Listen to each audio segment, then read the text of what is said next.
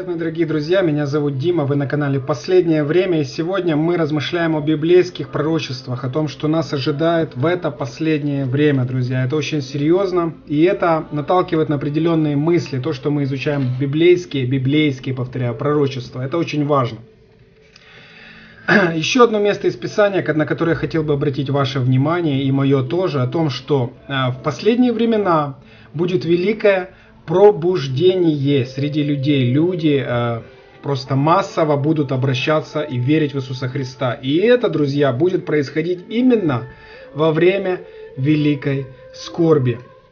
Друзья, давайте зачитаем это место. Это Откровение на Богослова, 7 глава, с 9 по 14 стих. Это очень важно. «После этого взглянул я, и вот великое множество людей, которого никто не мог перечесть, из всех племен, и колен, и народов, и языков» люди по всему миру.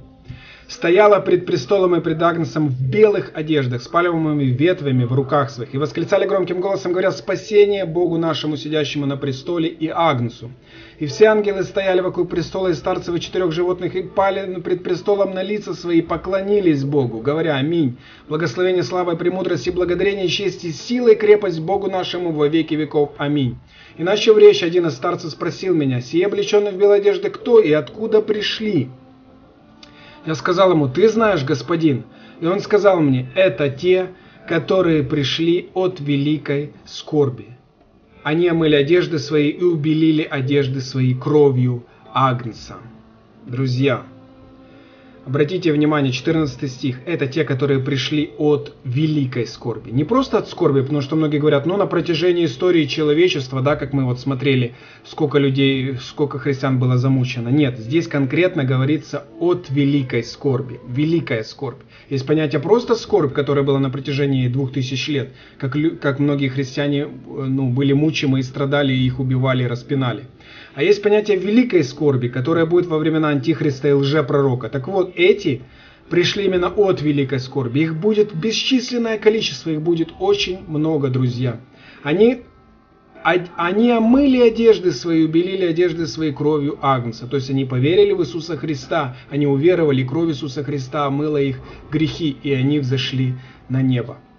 Они пребывают с Ним с Господом вечности. Друзья, великая скорбь еще не настала, но когда она наступит, начнется великое пробуждение. На, очень надеюсь, что ты и я молчать не будем. Мы будем проповедовать на кровлях, мы будем проповедовать в темноте, мы будем проповедовать при свете, мы будем проповедовать в транспорте.